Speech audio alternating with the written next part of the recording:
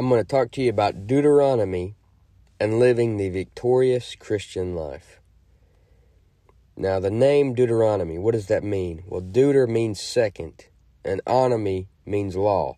So, this book is the second giving of the law. And it begins in year 40, the 11th month, and day 1 from the Exodus. The author is Moses, and this is the last book of Moses. Now, historically, the, the parents of the first generation who weren't going to go into the land, they failed to teach their kids the law. So Moses has to go back over it with them. So it's all it's also called the book of remembrance. And this is the last words of Moses to Israel. Now practically that's the problem of many parents today is they are failing to give their children the Bible. Some Christians will wander in the wilderness and they'll never live the victorious Christian life.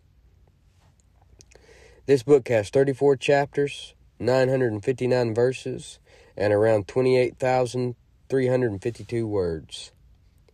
But chapter 1, Moses talks about Israel's past failures.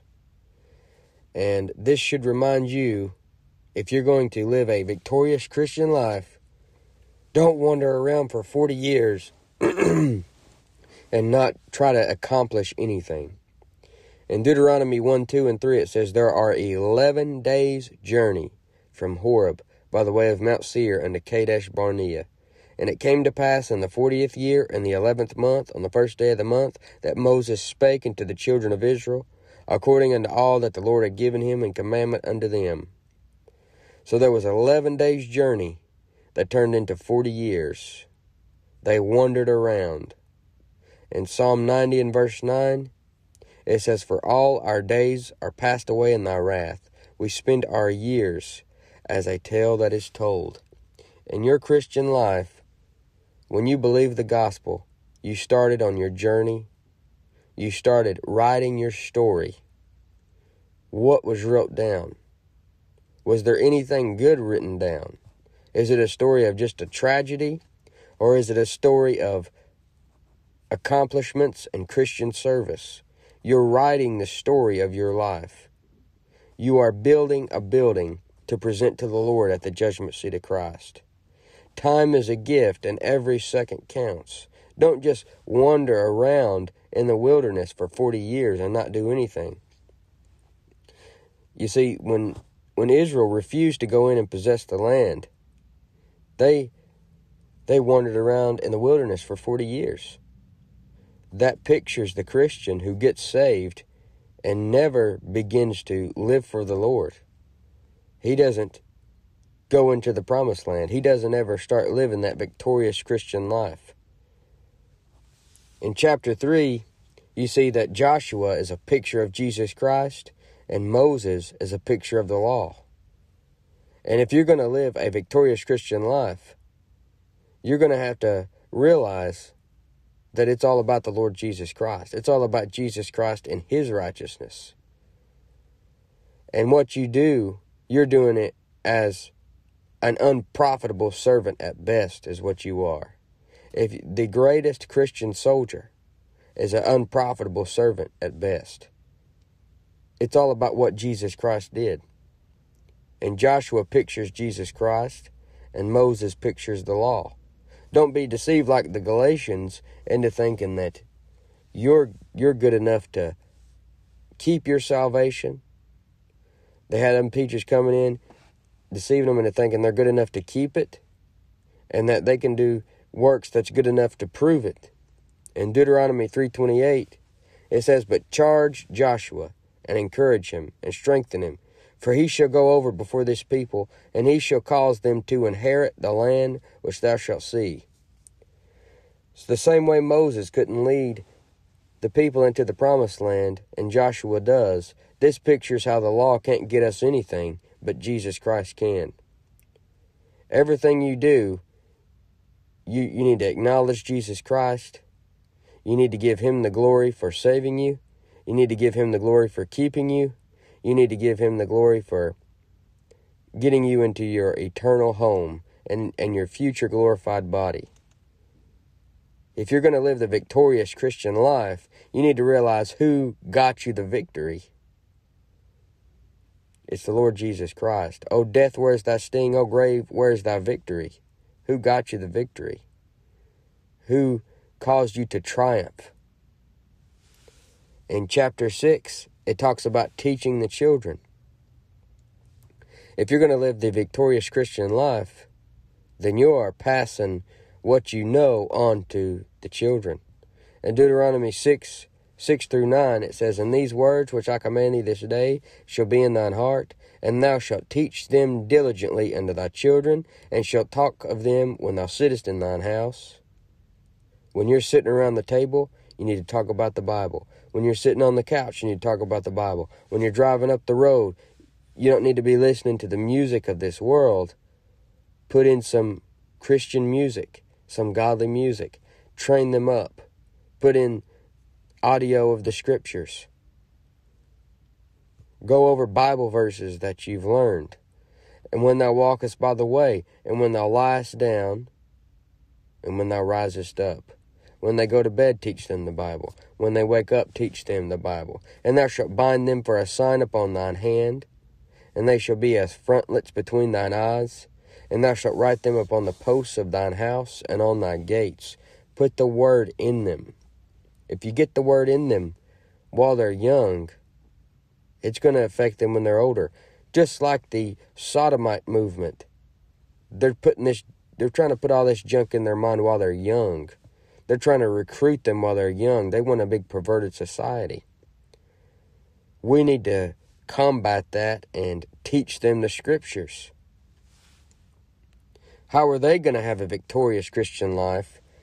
I mean, the way things are looking, the the devil is in an all out battle to try to not even let them ever even get saved. In chapter 7, you're going to see that Israel's strength comes from God. If you're going to live the victorious Christian life, who are you leaning on? Where is your strength coming from? Are you trying to do everything by your own strength, or do you realize where your strength is coming from? In Deuteronomy 7 1, it says, When the Lord thy God shall bring thee into the land, whither thou goest to possess it, and hath cast out many nations before thee, the Hittites, and the Girgashites, and the Amorites, and the Canaanites, and the Perizzites, and the Hivites, and the Jebusites, seven nations greater and mightier than thou.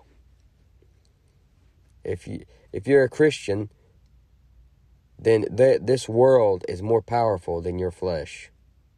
The devil is much more powerful than your flesh. You're going to face things that are way bigger than you your flesh is. But your strength doesn't come from your flesh. There's something in you that made the worlds. John said, Greater is he that is in you than he that is in the world. Paul talks about in Colossians, you got Christ in you, the hope of glory. In Ephesians, he, he tells us how we're sealed into the day of redemption. He says, In whom ye also trusted after that ye heard the word of truth, the gospel of your salvation, in whom also after that ye believed, you were sealed with that Holy Spirit of promise. You got something in you that slung the sun into the universe. I mean, your strength comes from Him, not yourself.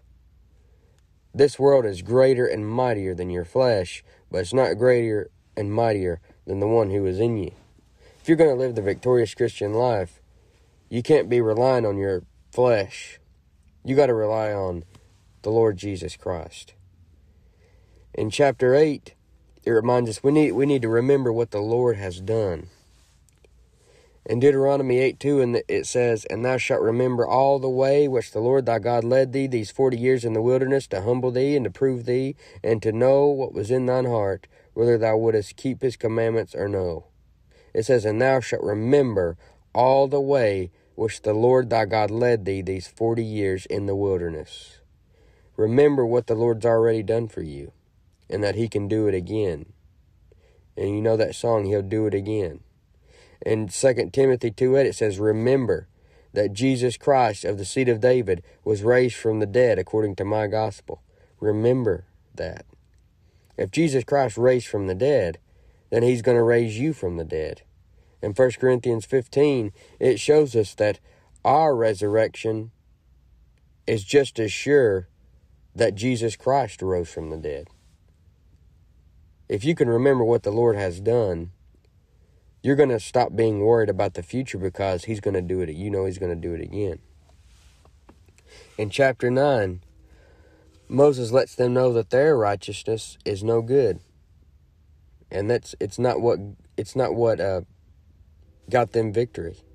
It says in Deuteronomy 9 5, it says, Not for thy righteousness, or for the uprightness of thine heart, dost thou go to possess their land, but for the wickedness of these nations. The Lord thy God doth drive them out from before thee, and that he may perform the word which the Lord sware unto thy fathers, Abraham, Isaac, and Jacob. So they weren't going to go and possess the land because they were righteous or because they were good, but because of the Father's sake, the promise to Abraham, Isaac, and Jacob. It was because the Lord was going to give it to him. Just like us. We didn't get our salvation because we deserved it. It says there is none righteous, no not one. Romans 3:23 for all have sinned and come short of the glory of God. We don't want to be ignorant of God's righteousness and go about to establish our own righteousness because we don't have any. It's all of the Lord Jesus Christ. When you got saved, God took your uh, folder out of out of the file cabinet, took your rottenness out, and put the righteousness of Jesus Christ in, because our righteousness is no good. And like I said, if you're going to live the victorious Christian life, you need to realize who is the one that's righteous. It's not you. You can't go through this life being full of pride and with a big ego and thinking you're the grandest thing on the Christian scene your righteousness is no good. In chapter 10, you see the new tablets of stone. In Deuteronomy 10 1 and 2, it says, At that time the Lord said unto me, Hew thee two tables of stone like unto the first, and come up unto me into the mount, and make thee an ark of wood. And I will write on the tables the words that, I, that were in the first tables, which thou breakest, and thou shalt put them in the ark. So you remember how Moses, the first time, he dropped the tablets because he was so angry about what Israel was doing and when they were dancing and they made the golden calf. Now the Lord tells him to go back up and he's going to write on two more tables of stone. Now the new tablets of stone, that was just as much the Word of God as the first tablets of stone. And if you're going to live a victorious Christian life, you need to have faith in the book that God's preserved it from then all the way until now. It wasn't just the originals that were inspired and perfect, it's what you have today. Because this proves right here that a copy can still be the Word of God. Just because what you have is a copy of a copy of copies, it's still the Word of God. If God could write down what He wanted wrote down then, He can write down what He wrote wanted once written down now. You know, if you're going to have the victorious Christian life, you're going to have to have confidence in the words. And more times than not, at least where I live, and I live in the Bible Belt, I live in Tennessee where, you know, we're supposed to be the, you know, this is supposed to be God's country around here. And these churches here, the pastors, most of them don't use the King James Bible. They use all different kinds of versions of the Bible. And like I said, uh, one time I heard this guy, he got up and he was telling the people to get excited about the Word of God. And he was, in this sermon, he was using multiple versions of the Bible, proving that there's no way that he could believe that there is a perfect Bible for today because all those Bibles he was using say something different. So he would just say that these were good translations. He wouldn't believe that it's actually the exact perfect Word of God that God wanted us to have. So, how could we be excited about something that's not perfect? That's not a 100% sure. I mean, I get excited about the Word of God. I know it's a 100% true in my King James Bible. And if you're going to live the victorious Christian life, you're going to have to have faith in the book. It's going to have to be your final authority. And if you believe all these versions that say something different, do you really have the final authority or do you become the final authority? if you're going around trying to change every word to suit your belief, then are you really making the Bible the final authority, or are you the final authority? You can't live the victorious Christian life that way. In chapter 12, you got the Lord's hatred for a land polluted with idols. In Deuteronomy 12, 2 through 3, it says, You shall utterly abolish all the places wherein the nations which ye shall possess serve their gods upon the high mountains and upon the hills and under every green tree. And ye shall overthrow their altars and break their pillars and burn their groves with fire. And ye shall hew down the graven images of their gods and destroy the names of them out of that place. If you're going to live the victorious Christian life, you're going to have to examine your life from the time you get up to the time you go to bed and make sure that there is no idols there. Make sure that there's not something that's making you slack off on God. Make sure that there's nothing that you're putting ahead of God. Make sure that there's not some sinful thing in there that's you've got put on the on in the front of your life that's getting all the glory. You're not going to live a victorious Christian life with a life full of idols. You're going to have to go up upon the on the high mountains and the hills and under every green tree and look and make sure that there's no idols there. You're going to have to overthrow the altars and the pillars and burn the groves with fire. And that's why God doesn't want you going out and hanging out hanging around lost people so much that they affect you because they will affect you. Evil communications corrupt good manners. That's why he didn't want Israel joining up with these heathen nations because their gods would be attractive to, to Israel and then they would be a, a land polluted with idols. In chapter 13, you got the false prophet chapter. In Deuteronomy 13, 1 through 3, it says, If there arise among you a prophet or a dreamer of dreams, and giveth thee a sign or a wonder, and the sign or the wonder come to pass, whereof he spoke unto thee, saying, whereof he spake unto thee, saying, Let us go after other gods, which thou hast not known, and serve them, and let us serve them. Thou shalt not hearken unto the words of that prophet or that dreamer of dreams, for the Lord your God proveth you to know whether you love the Lord your God with all your heart and with all your soul. This is the false prophet chapter. It's in Deuteronomy 13, and the Antichrist will perform signs and wonders, and he is also connected with the number 13. See Revelation 13. And it says in 2 Thessalonians 2 9, even him whose coming is after the working of Satan with all power and signs and lying wonders. The devil has his false prophets even today. They're all over YouTube, they're on TV, telling you there's something coming, and then it doesn't come to pass. You know what this shows? It shows he's a false prophet. When they tell you for sure that something is coming, I'm not talking about somebody that just speculates and says that they think this will happen. I'm talking about somebody that says, God showed me that this is going to happen. God came to me in a dream and told me that this event's going to happen. God gave me a vision that this is going to happen and then it doesn't happen. That's a false prophet. That's somebody that's lying or that's somebody that's hooked up with unclean spirits that's telling them this stuff. And a lot of older people today that I've noticed that talk to me about the Bible, they are being led astray by this. That's who they're preying on. These false prophets and these TV preachers. Maybe a person is older and they can't get out much anymore, but they're a Christian and they're they're trying to get spiritually fed somewhere. And of course they get led to a false prophet because that's who's being promoted. The good the good preachers aren't being promoted. It's the false prophets being promoted. And so they get led to these false prophets and then they're led off to believe this crazy stuff that never comes to pass that has nothing to do with the Bible.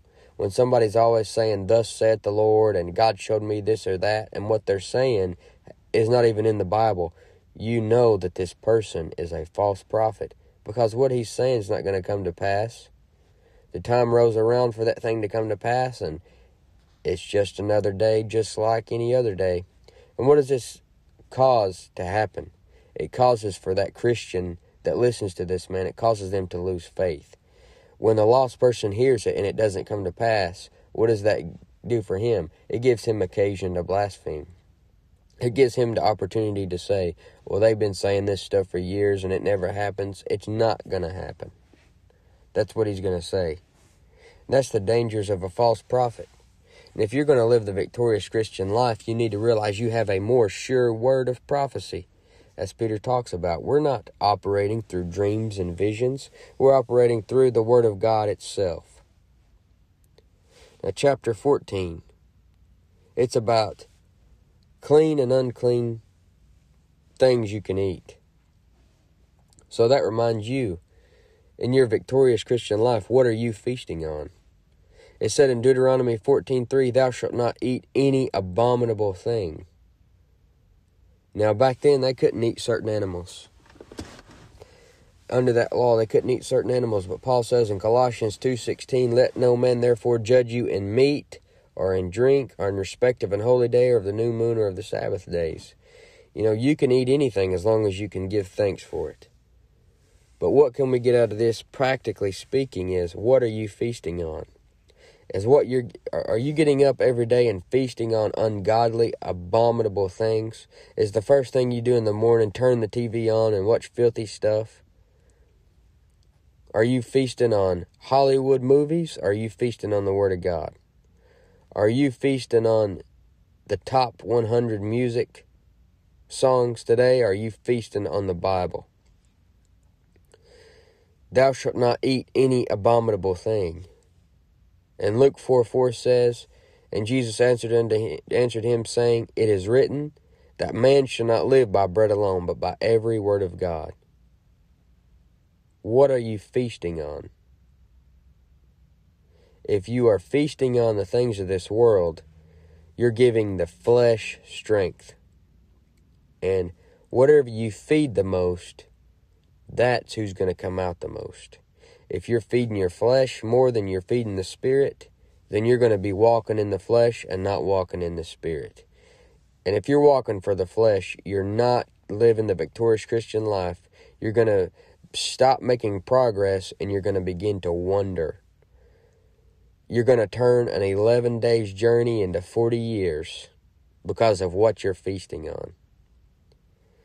When you are feasting on horoscopes and psychics and all these things, you're feasting on the devil's stuff, the world's stuff.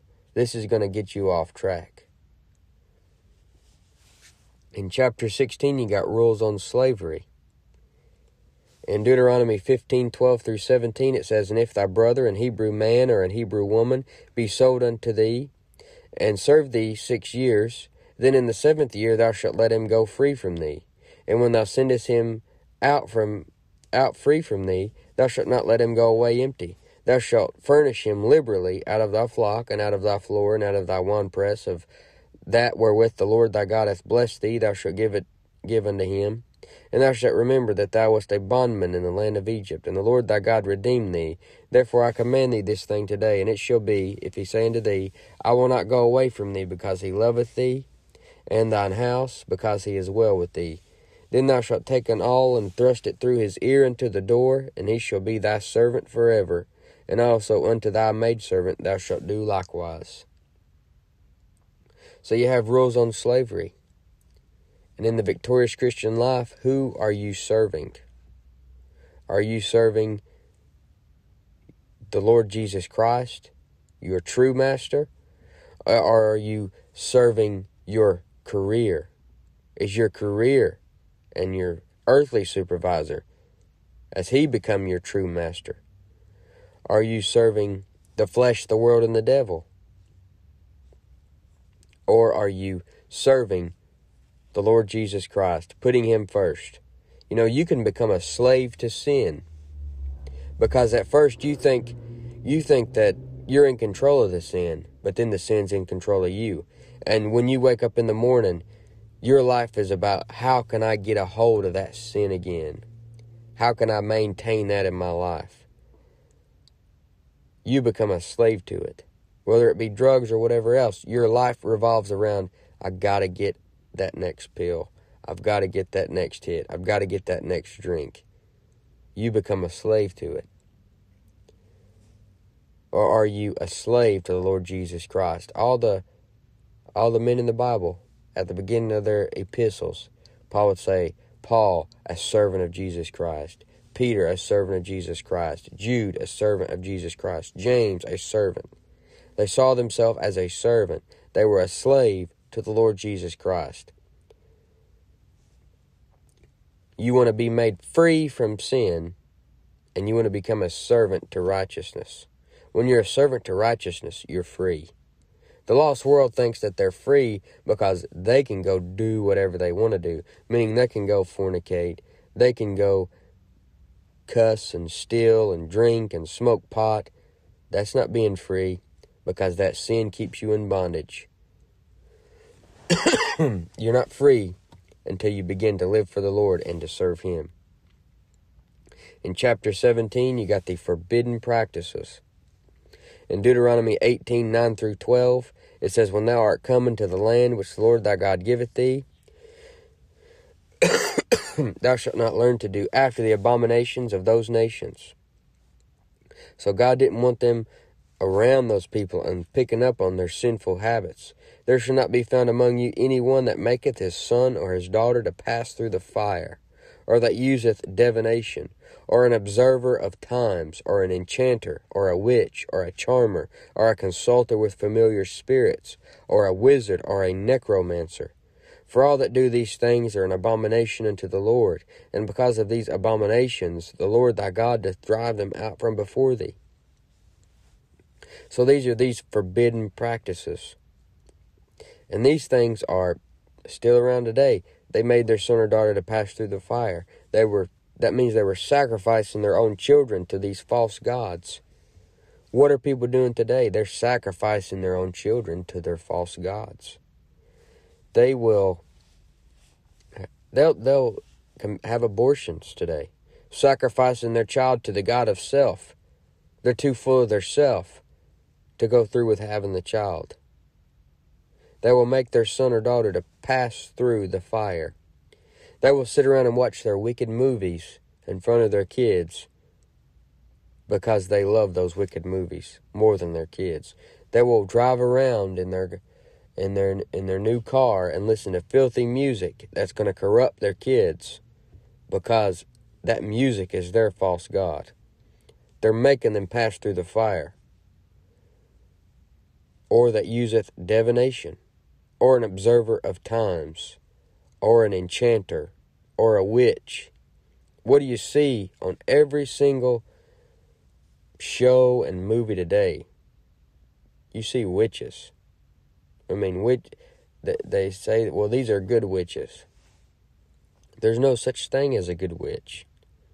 Where in the Bible do you see a good witch, or a charmer, or a consulter with familiar spirits, or a wizard, or a necromancer, somebody that talks to the dead, or talks to unclean spirits, a consulter with familiar spirits. These things are celebrated today. People want to talk to somebody who might could possibly talk to uh, their dead loved one. They want somebody that can talk to the dead. They want somebody that can get a Ouija board and contact a spirit and possibly tell them the future. You know, if you're involved in these things, I believe a Christian could be involved in these things. But they are far, far away in their walk with the Lord. They are wandering, they're not having a victorious Christian life. These things will keep you from the victorious Christian life. This will bring unclean spirits into your life and they will destroy you. These things are celebrated today. You have these these wicked Hollywood movies like The Conjuring and things like that that are all about unclean spirits and exorcisms and stuff. You don't want to put all that stuff in your mind and the stuff that they're doing on those movies like that is very unbiblical. You, did you notice that in all these exorcist, exorcist movies, it's about uh, Catholics and Catholic priests? and, you know, they're doing very unbiblical stuff because the Catholic Church is just as full of the devil as Harry Potter's school was. I mean, just because it, they they slap Jesus Christ on it and say that they're serving God does not mean they're serving God. What they're doing doing is a cult. I mean, a Catholic priest probably has many as many devils in him as Lady Gaga or Eminem or Nicki Minaj or all these people that we see as wicked. I mean, Catholic priests are wicked. They have a false gospel. They're leading people to hell. I mean, even just their whole their whole life is is not a victorious Christian life at all. I mean, they forbid to marry. That's called a doctrine of a devil. Paul tells Timothy, Timothy, forbidding to marry is a doctrine of a devil. What the nuns are doing, what the Catholic priest does, all these things that they do in secret, the whole idea of a confessional booth, that's wicked and sinful as well. And they are hooked up with unclean spirits. But you want to stay away from things that can can cause unclean spirits to get in your life and cause you to wander and turn an 11 days journey into 40 years. And moving further on to chapter 31, Joshua is commissioned to lead Israel. and as I said, Joshua is a picture of Jesus Christ. Make sure Joshua, the Lord Jesus Christ, is in the lead. Paul talks about in Colossians that in all things he might have the preeminence. And he is the head of all things, and by him all things consist. Let him be the leader. In chapter 32, Moses is told he can't enter the promised land. Because you remember what he did. He got angry and he, he smote the rock. He smote, smote the rock when he was just supposed to speak to the rock. And he didn't get to go into the promised land because of that. In chapter 34, you've got the death of Moses. In Deuteronomy 34 5 through 9, it says, So Moses, the servant of the Lord, died there in the land of Moab, according to the word of the Lord. And he buried him in a valley in the land of Moab, over against Beth Peor, but no man knoweth of his sepulchre unto this day. See, Moses, uh, the devil, and Michael the archangel disputed about the body of Moses. In the book of Jude, it talks about that. And they never found his body Moses, because Moses is coming back in the tribulation, he's going to be one of the two witnesses. It says, And Moses was 120 years old when he died. His eye was not dim, nor his natural force abated. So he was moving around like a young man when he died. And the children of Israel wept for Moses in the plains of Moab thirty days. So the days of weeping and mourning for Moses were ended. And Joshua the son of Nun was full of the spirit of wisdom, for Moses has had laid his hands upon him, and the children of Israel hearkened unto him, and did as the Lord commanded Moses. Moses passed the mantle on to Joshua. And in your victorious Christian life, you need to be able to pass it on to somebody else as well. You need to be training somebody or people that you can pass it on to when you die. You don't just want to get all the glory for yourself and not pass on what you know to somebody else. In the victorious Christian life, it's not only good to learn things and learn the Bible, you need to pass it on to others. You need to use what you've learned. And in Deuteronomy 18 15 through 16, it shows you Jesus Christ in Deuteronomy. In Deuteronomy 8 15 through 16, it says, The Lord thy God will raise up unto thee a prophet from the midst of thee of thy brethren like unto me, unto him you shall hearken, according to all that thou desirest of the Lord thy God in Horeb, in the day of the assembly, saying, Let me not hear again the voice of the Lord my God, neither let me see this great fire any more that I die not. So he said, The Lord thy God will raise up unto thee a prophet from the midst of thee, of thy brethren, like unto me. Unto him ye shall hearken. This is a prophecy of the Lord Jesus Christ, the prophet like unto Moses, as it calls him in Acts chapter 7. So, uh, in closing this up, I want to give you some ways that Moses is a picture of Jesus Christ. Now, if you're going to be living a victorious Christian life, you're going to have to be conforming yourself to becoming as like Jesus Christ as you possibly can. Don't be conformed to this world, but be transformed by the renewing of your mind. But the first thing is, Moses and Jesus were born at a time when Israel was in bondage to somebody. When Moses was born, they were in bondage to Egypt. When Jesus was born, they were in bondage to the Romans. Number two, at their birth, babies were being killed. When Moses and Jesus were born, babies were being killed. Pharaoh and Herod were both killing babies.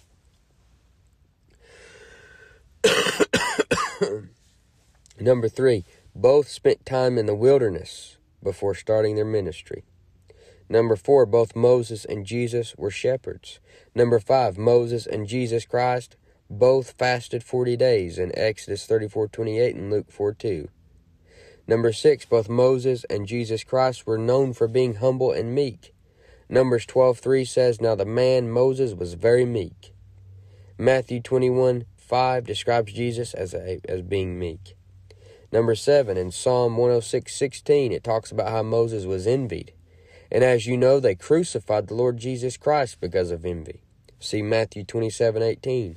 Number 8, Moses and Jesus Christ have connection with the law. John 1 17 says the law was given by Moses, but grace and truth came by Jesus Christ. And in Matthew 5 17, Jesus says he came to fulfill the law. In uh, um, or number 9, it says both, uh, both of them were sent to Israel. As you know, Moses was sent to deliver Israel from the bondage of Egypt. Exodus 3.10, Come now, therefore, and I will send thee unto Pharaoh, that thou mayest, mayest bring forth my people, the children of Israel, out of Egypt. And you know what it says about Jesus Christ in John 1.11? He came into his own, and his own received him not. And both of them were rejected at first. Number 10, both Moses and Jesus Christ did something with a large body of water. Moses parted the Red Sea, the Lord Jesus Christ calmed the storm and walked on water. Number 11, people were fed miraculously under the care of Moses and Jesus Christ. In Exodus 16, the Lord drops manna from heaven. In Mark 8, 1 through 9, Jesus Christ feeds the 4,000. Number 12, both quenched thirst miraculously. In Exodus 15, 22 through 23, Moses gives drink to thirsty people. In John 4.10, Jesus describes how he can give a person living water. Number 13, in Matthew 17, both Jesus and Moses met each other on the Mount of Transfiguration. 14. Both Moses and Jesus Christ had outstretched arms with a man on each side. Moses had this happen during the war with Amalek when Aaron and Hur were holding his arms up. Jesus Christ had this happen during a spiritual war on Calvary when he had the two thieves on each side. So both of them had uh, outstretched arms with a man on each side during a war. For Moses, it was a physical war. With Jesus Christ, it was a spiritual war where the unclean spirits were attacking him as he was on the cross dying for our sins. Number 15, Moses and Jesus Christ didn't stay in their burial places after they died. Jesus Christ resurrected from the dead and left the tomb in his glorified body. And God took Moses' body, and the devil don't even know where it is. 16, both men had people wondering about their dead bodies after they died. In the book of Jude, like I said, the devil and Michael the archangel disputed about the body of Moses. In Matthew 28 11 through 15, the soldiers are paid to lie about where Jesus' body went. So, so many similarities between Moses and Jesus. And if you're going to live the victorious Christian life, there needs to be so many similarities between you and Jesus. Start trying to be like the Savior and not like your false gods of this world. But I hope this has gave you some tips about how to live the victorious Christian life.